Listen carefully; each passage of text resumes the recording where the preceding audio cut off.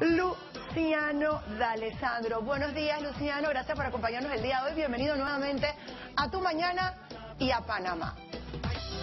Hola Karen, ¿cómo estás? Qué gusto saludarte. Un placer estar aquí en Tu Mañana. Un beso inmenso a toda la gente de Panamá. Tengo rato que no voy a Panamá, quiero volver pronto, ojalá Oye, sea pronto. Feliz, bueno. feliz de estar acá. Yo creo que cuando regreses vamos a tener que volver a hacer, tú sabes, un sistema de seguridad un poco más. No sé si tú recordarás cómo fueron esos eventos de la visita del elenco de la Ley del Corazón a nuestro país. Y sí, que no nos apaguen la luz, que no nos corten la luz del centro comercial. para la gente tuvieron que cortar la luz del centro comercial Para poder que pues, pagar. se dispersara. Una locura, pero... Una locura, sí, fue una Este locura. muy bonita, bonita, fue una muestra de cariño increíble. Eso, Así eso jamás es. se me va a.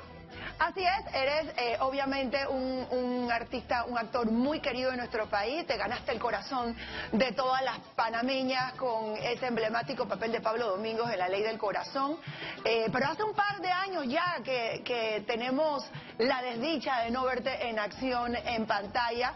Creo que, si no me equivoco, fue como en el 2019 que acabó, estamos en 2021, o sea que es hasta este año que tendremos nuevamente la oportunidad de verte aparecer coincidentalmente en una serie que también se ha ganado el corazón de los panameños como lo es Enfermeras. ¿Cómo te sientes de ser Sí, parte de así este es, elenco? así es. Después de, de La Ley del Corazón 2, eh, hice un proyecto para Telemundo, se llama Operación Pacífico, me tocó hacer ahí un antagónico. Después vino toda esta época de, de la pandemia, que fue un encierro increíble. Y bueno, sí, ya tengo varios meses grabando con enfermeras eh, en esta nueva etapa. Esta vez no creo que me gane mucho el corazón de las panameñas, creo que lo van a odiar un poquito. Eh, es un personaje, Félix Andrade, es un neurocirujano que llega a mover el piso de Santa Rosa, llega a querer poner sus leyes, es un personaje ambicioso, es egoísta, pero al mismo tiempo está enamorado porque regresa eh, un personaje eh, también que marcó mucho en la primera temporada, regresa con Félix. Eh, yo no sé cómo van las promos, no sé si se puede decir con quién regresa, pero bueno, sí, sí, ahí sí, están sí, las claro. Ahí, ahí están viendo. Regresa justo con, con, con ella, con la muñequita diabólica. La Tienen una, una relación muy particular ellos dos, pero es un personaje que, que sí, que es ambicioso, que va por todas, eh, quiere escalar posiciones allí. Es, digamos que sí es un antagónico, pero no se mete en la parte emocional de los protagonistas, sino más en la parte Profesional. profesional. Ujú, sí. Exactamente. Es un personaje muy, muy rico de hacer. Uno como actor, pues, tener la posibilidad de poder hacer un personaje tan bonito como Pablo Domínguez en La Ley del Corazón, que era un príncipe, pues también que lo vean a uno ahora en otra faceta también es chévere. Así uno, uno no se encasilla en un solo tipo de personaje. ¿no? Pero muy contento.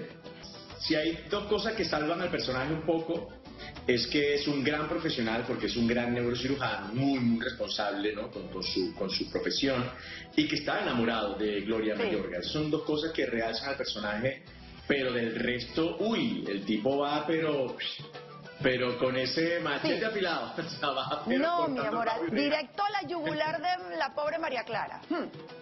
Sí, va, va, va, Sí, va, va. va. Sí, es ambicioso, ambicioso, es narciso.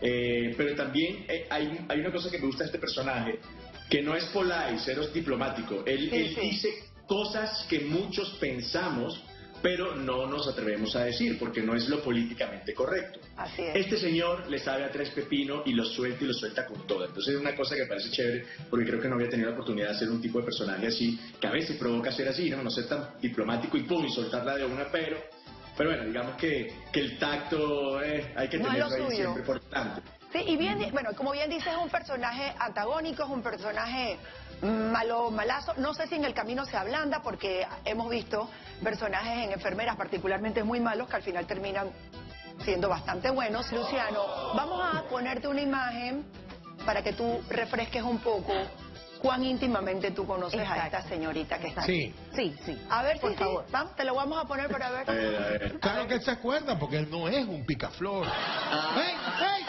ey! Yo me ¡Ey, qué pasó aquí, hombre! Yo soy la jefa. Ofrece tu servicio, por favor. Soy, soy la jefa María de los Ángeles de la sala de novelas de Telemetro. Entonces yo estoy lista, mi querido Luciano de Alessandro, para viajar allá al Santa Rosa y ser tu enfermera personal. No importa si esta vez eres malo, yo seré mala contigo. ¡Ay!